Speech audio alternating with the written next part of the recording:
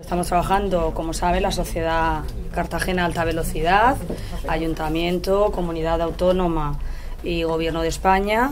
Y en septiembre se presentará el proyecto, están trabajando en ello y lo digo porque todos saben que aquellos 900 metros soterrados de los que dependía la declaración de impacto ambiental para que no caducara no está en peligro. Pasos muy cortos, pero se están dando.